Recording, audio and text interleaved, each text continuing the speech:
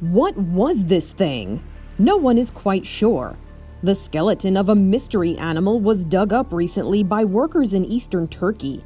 It's about a meter long and has predatory teeth, as well as especially long hind limbs and nails instead of hooves.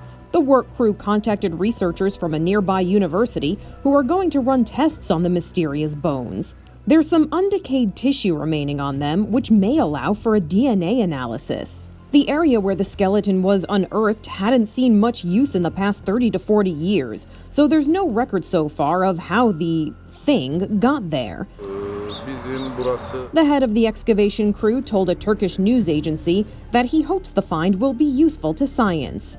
No doubt it will be. The researcher responsible for determining the species of the creature says the skeleton will find a new final resting place in a museum, whatever it ends up being.